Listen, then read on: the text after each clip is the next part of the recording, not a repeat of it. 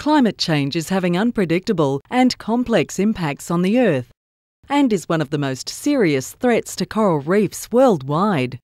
Climate change is projected to increase sea surface temperatures, average sea level, carbon dioxide concentration in the ocean, and the frequency of El Nino events, as well as change rainfall and ocean circulation patterns.